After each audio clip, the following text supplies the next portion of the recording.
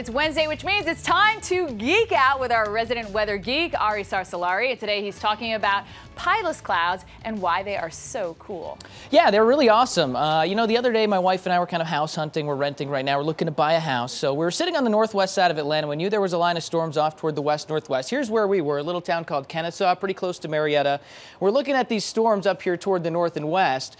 And then all of a sudden we noticed something, right? And this is one of those deals where okay, maybe only if you're two meteorologists together you would notice this, but it's definitely geekery for sure. Let's check out the picture, show them what we saw.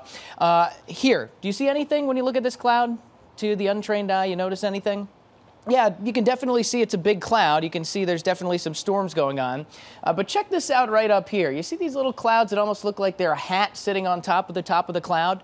Those are called pileus clouds or pileus clouds. It's like one of those tomato tomato type of deals, I guess.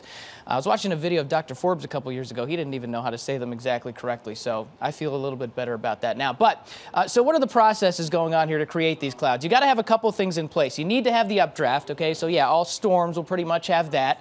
If you don't have rising air, you don't have a storm.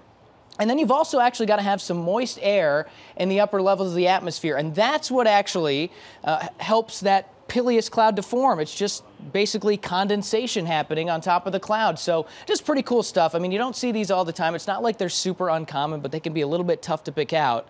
But ha have you ever played Mortal Kombat, Steph? You remember Mortal Kombat, the guy Raiden? Used to wear that hat. Anybody with me on that in here? Hopefully. Anybody? All right. Okay. Reynolds is with me on that. But uh, it's that kind of deal. So pretty cool stuff. Next time you see that, you'll know what it is.